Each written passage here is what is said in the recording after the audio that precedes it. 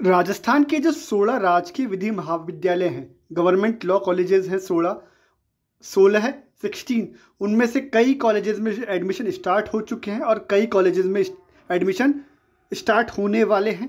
तो अब आपको जो है थोड़ा एक्टिव हो जाना है। अगर आपको एलएलबी फ़र्स्ट ईयर में या फिर पीजीडीएलएल में एडमिशन लेना है तो आपको एक्टिव होना पड़ेगा। आपको जो है अपने नज़दीकी लॉ कॉलेज के टच में रहना होगा। ये गवर्नमेंट लॉ कॉलेजेस जो हैं राजस्थान के सोलह, उनमें एडमिशन लेने का वीडियो है और इस, ये वीडियो पार्ट टू है। इससे पहले एक भाग बनाया जा चुका है, एक पार्ट वीडियो वन बनाया जा चुका है। उसका लिंक नीचे डिस्क्रिप्शन में आपको मिल जाएगा। उसमें डिटेल में बताया गया है कि आपको कैसे वेबसाइट से वेबसाइट से जो डिटेल्स है वो देखनी है और अपना फॉर्म अप्लाई करना है। इसके अंदर हम फॉर्म कैसे भरना है उसके बारे में डिस्कस करेंगे। ये फॉर्म जो है वो ऑफलाइन रहने वाला है। आपको पीडीएफ डाउनलोड करना है, उसको भरना है। भरने के बाद आपको आपके नज़दीकी राजकीय विधि महाविद्यालय में जाकर ये फॉर्म जमा करवाना है। बूंदी और कोटा में एडमिशन शुरू हो गए हैं और सारे कॉलेजेस जो हैं उनमें एडमिशन लगभग स्टार्ट हो चुके हैं। आप लॉ कॉलेजेस में एडमिशन के लिए तैयार रहिए। आप जाके फॉर्म भर के जमा करवा सकते हैं और ज़्यादा डिटेल अपने नज़दीकी राजकीय विधि महाविद्यालय से ले सकते हैं। आप सभी का स्किल्ड यूथ गुरुकुल के इस एपिसोड में स्वागत है और साथ में the pride of lions Vidhishala YouTube channel भी आपका इस एपिसोड में स्वागत करता है। ये राजकीय विधि महाविद्यालय सोलह गवर्नमेंट लॉ कॉलेजेस राजस्थान में एडमिशन लेने का पार्ट टू वीडियो है। इससे पहले जो वीडियो है इसका लिंक डिस्क्रिप्शन में है। आइए देखते हैं आपको फॉर्म कैसे भरना है। तो ये पी है, आपको ये फॉर्म ले लेना है। ये बेसिकली आपको यहाँ पर जो महाविद्यालय जिसमें प्रवेश चाहते हैं, उसका नाम लिखोगे। जैसे फॉर एग्जांपल आप अजमेर से आते हैं तो आप लिखोगे राजकीय विधि महाविद्यालय अजमेर। दूसरा है संख्या संकाय जिसमें प्रवेश चाहा गया है। यहाँ पर आपको विधि पे टिक करना है और विधि लिख देना है। ऊपर शैक्षणिक सत्र दो हज़ार लिखना है। कक्षा जिसमें प्रवेश चाहा गया है, एलएलबी फ़र्स्ट ईयर, या फिर आप पीजीडीएलएल लिख सकते हैं।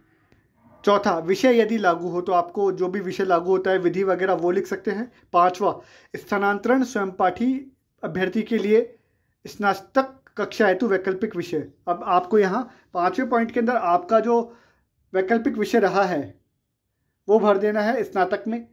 फॉर एग्ज़ाम्पल आप इसमें हम कला की बात, यहाँ पर आपको एक बार ये खाली छोड़ देना है, या फिर आपको नज़दीकी लॉ कॉलेज में जाके पूछ लेना है।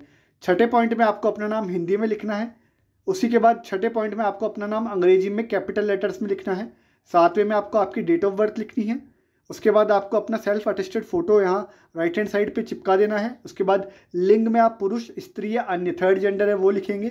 नाइन्थ पे आपको धर्म लिखना है। दस पे आपको पिता का नाम, ग्यारह पे माता का नाम, बारह में आपको क्या, आप राजस्थान के मूल निवासी हैं हाँ नहीं पे टिक करना है। तेरह पे आपको संरक्षक का नाम, यदि आपके माता पिता नहीं हैं फॉर्म भरने वाले के तो उसको यहाँ संरक्षण का नाम लिखना है। उसका उस अभ्यर्थी से क्या संबंध है? चौदह में आपको अभिभावक या संरक्षक का व्यवसाय लिखना है। पंद्रह में आपको क्या वे आयकर दाता है? हाँ नहीं, में भरना है। श्रेणी, उसके बाद आपको SC category ST category OBC MBC EWS Sahariya general जो भी है, वो लिखनी है। उपजाति में आपको आपका जो भी एससी कैटेगरी में जो भी आपकी जाति है, वो लिख देनी है। ओबीसी में आप जिस भी जाति में आते हैं, वो लिख देंगे। उसके बाद अन्य आरक्षण या बोनस जो प्राप्त करना चाहते हो, अगर आपको कोई आरक्षण या बोनस लेना है तो उसका सर्टिफिकेट आपको लगाना है। उसके बाद आपको उन्नीस के अंदर क्या अभ्यर्थी दिव, दिव्यांग है? यस नो में टिक कर देना है हाँ नहीं लिख देना है। विवरण लिख देना है अगर आप अगर कैंडिडेट जो है वो दिव्यांग है तो उसको आप, अपनी डिटेल बेसिक लिख देनी होगी। उसके बाद ब में आपको कश्मीरी हैं हाँ नहीं में से क्या आप असम राज्य के निवासी हैं हाँ नहीं? क्या आप कॉलेज शिक्षा में सेवारत या सेवानिवृत्त निवृत्त मृत राज्य कर्मचारी के पुत्र पुत्री हैं? अगर आपके अगर आप फॉर्म भर रहे हैं और आपके माता पिता जो हैं वो कॉलेज शिक्षा में सेवारत हैं या अभी सेवानिवृत्त हो चुके हैं या अगर मृत राज्य कर्मचारी के पुत्र पुत्री हैं तो उनको भी कुछ बोनस होता होगा तो हाँ नहीं भर देना। उसके बाद अगर आपके माता, अगर फॉर्म भरने वाले के के अभिभावक, जिसमें माता पिता हो, वो हो गई है मृत्यु कोरोना में तो आपको हाँ नहीं लिखना है। बीसवें में क्या आप बीपीएल श्रेणी से हैं? हाँ नहीं। क्या आप एकमात्र कन्या संतान हैं? हाँ नहीं। क्या आप छात्रावास की सुविधा चाहते हैं? हाँ नहीं। वाहन जिसकी पार्किंग चाहते हैं, अपना वाहन का पार्किंग नंबर लिखेंगे। आपको अपना एड्रेस लिख देना है अभ्यर्थी का, उसके बाद आपको अपना स्थायी पता लिख देना है, फिर आपको ध्यान रखिएगा, ईमेल मैंडेटरी है, स्टार का टिक बना हुआ है, ईमेल लिखना ज़रूरी है, ईमेल ज़रूर लिखेंगे। उसके बाद आपको मतदाता पहचान पत्र संख्या लिख दीजिएगा, अगर आप वोटर आईडी में आपका नाम है तो। उसके बाद आपको आधार नंबर, यदि है तो आधार नंबर भी लिख दीजिएगा, नहीं है तो छोड़ सकते हैं। जनाधार नंबर अगर आपके पास है तो लिख दीजिएगा। नंबर नहीं है तो मत लिखिएगा, छोड़ दीजिएगा। उसके बाद डेट लिखनी है। अपने पूरे सिग्नेचर करने हैं। अब आपको यहाँ पर पॉइंट नंबर उनतीस लिखा हुआ अकादमिक योग्यता संबंधी विवरण। इसमें सेकेंडरी टेंथ क्लास के जो अकादमिक सत्र है, उससे लेकर आगे तक के सारे जो शैक्षणिक सत्र हैं, उनका विवरण देना है। सबसे पहले आपको आपका नाम, पिता का नाम, फिर जो लास्ट एग्ज़ाम आपने पास किया था, अहरकारी परीक्षा का परिणाम, इसमें आपको बी कॉम किया था बीए किया था बीएससी किया था, वो लिखना है, उत्तीर्ण लिखना है। उसके बाद आपको आपका टेंथ का डिटेल यहाँ लिखना है, सत्र। उसके बाद टेंथ की board C B S E या आर बी एस ई उसके बाद आपको आप रेगुलर हो प्राइवेट स्टूडेंट हो या पूर्व छात्र हो वो लिखना है। वैकल्पिक विषय में आप लिख दीजिएगा बोर्ड सब्जेक्ट प्राप्तांक आप लिख दीजिएगा। आपके जितने नंबर टेंथ में आए थे, पूर्णांक जितने में से आपको नंबर आए थे, प्रतिशत भर दीजिएगा। उसके बाद सीनियर सेकेंडरी की डिटेल लिखनी है, सत्र लिखना है बोर्ड का नाम लिखना है और वही डिटेल भरनी है। उसके बाद आपको आपकी ग्रेजुएशन लिखनी है, आपका यूनिवर्सिटी का नाम, सत्र लिखना है। उसमें आप नियमित थे। ध्यान रखिएगा, इसमें रेगुलर स्टूडेंट भी एडमिशन ले सकते हैं। सेल्फ जो स्वयं पाठी जो होते हैं, वो भी एडमिशन ले सकते हैं और पूर्व छात्र भी एडमिशन ले सकते हैं। ये पॉइंट नंबर तीस जो है आई थिंक आपके काम का नहीं है। पॉइंट नंबर इकतीस बहुत ज़रूरी है। इसके अंदर आपको जो जो डॉक्यूमेंट आप लगा रहे हैं, उनके सामने टिक लगाना है। पहले नंबर पे टेंथ के मार्क्स से टिक कर दीजिएगा। स्वयं द्वारा टिक करना है आपको। सेकंड नंबर पे सेकेंडरी परीक्षा का प्रमाण पत्र टिक कर दीजिएगा। स्थानांतरण प्रमाण पत्र आपको अगर आप दूसरे इंस्टीट्यूट से आए हैं दूसरे कॉलेज से आए तो आपको फिर मूल कॉपी ओरिजिनल लगानी है। और चरित्र प्रमाण पत्र है वो भी आपको ओरिजिनल लगाना है। इसके बारे में आप डिटेल के अंदर अपने नज़दीकी राजकीय विधि महाविद्यालय में पूछ सकते हैं कि आपको ओरिजिनल लगाना है या फिर क्या। एग्ज़ाम पास किया है ग्रेजुएशन का उसमें सभी क्लासेस की first year second year third year की सेल्फ अटेस्टेड फोटोकॉपी लगानी है।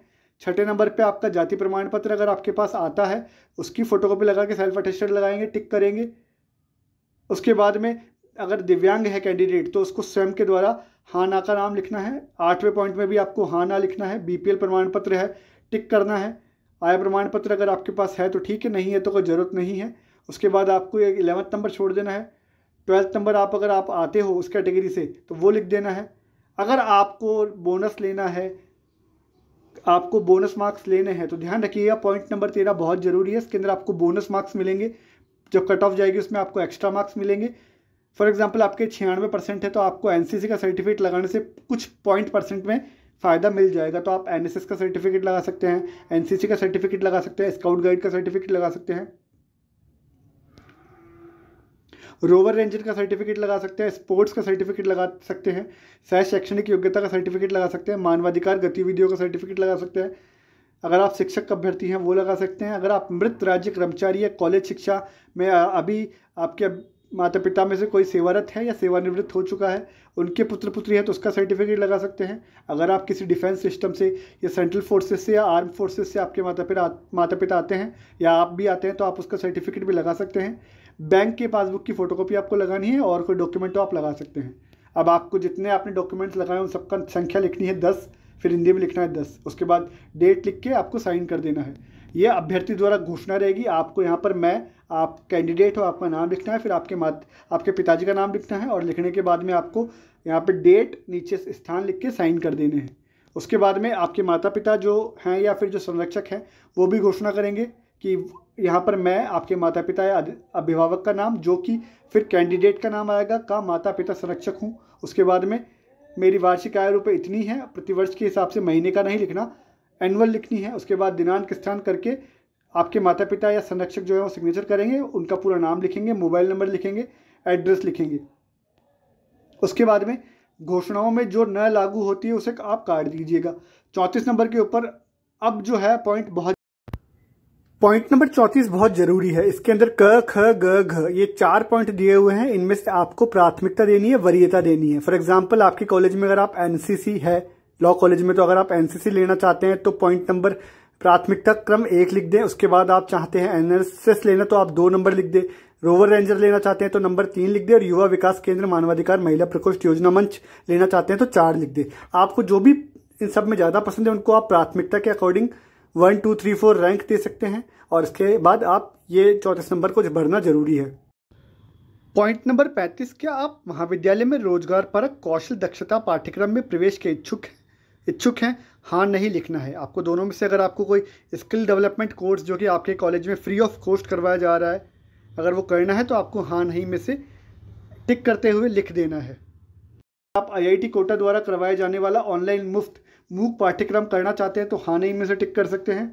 ज्ञानदूत कार्यक्रम के तहत मुफ़्त ऑनलाइन विषय पढ़ना चाहते हैं तो हाँ नहीं लिख सकते हैं। ज्ञान सुधा कार्यक्रम के तहत प्रतियोगी प्रतियोगी परीक्षाओं के लिए मुफ़्त ऑनलाइन कोचिंग लेना चाहते हैं तो हाँ नहीं में से टिक कर दे। अगर आप चाहें तो कोचिंग पे भी टिक कर सकते हैं। जैसे यहाँ पर कुछ coaching I S R S college lecturer की होती है S I L D C की होती है, teacher grade, first, second, third की होती है S S C bank P O की होती है। इनमें से भी जो आप करना चाहते हैं इसके ऊपर टिक कर दें। उसके बाद, क्या आप कला, सांस्कृतिक, राज्य स्तरीय प्रतियोगिता में रुचि रखते हैं? हाँ नहीं। अर्जुन दृष्टि कार्यक्रम के तहत खेल और खेल गतिविधि में रुचि रखते हैं? हाँ नहीं। अभ्यर्थी के हस्ताक्षर। अभी आवेदन प्रपत्र की जो प्राप्ति रसीद है, ये कॉलेज वाले आपको फाड़ के दे देंगे। ध्यान रखिएगा काट के आपको दे देंगे। ऑफलाइन फॉर्म जमा करवाना है, खुद जाके जमा करवाना है। डिटेल्ड वीडियो जो है, वो पार्ट वन है। ये पार्ट टू देख रहे हैं अभी आप। ये वीडियो अगर आप पहले देख रहे हैं तो इसका पार्ट वन ज़रूर देखिएगा। उसका लिंक नीचे डिस्क्रिप्शन में है। उसमें बेसिक क्राइटेरिया या जो एडमिशन का जो प्रोसेस होता है, वो डिस्कस किया गया है। अब यहाँ पर ये पॉइंट नंबर इकतालीस जो है, वो आपको छोड़ देना है। उसके बाद हाँ प्रवेश के संबंध में मेरिट गणना व अनुशंसा। यहाँ पर आप पहले नंबर पर अभ्यर्थी का नाम, पिता का नाम लिख दे और दूसरे नंबर पर महाविद्यालय, जिसमें प्रवेश चाहे गया है, वो लिख दे।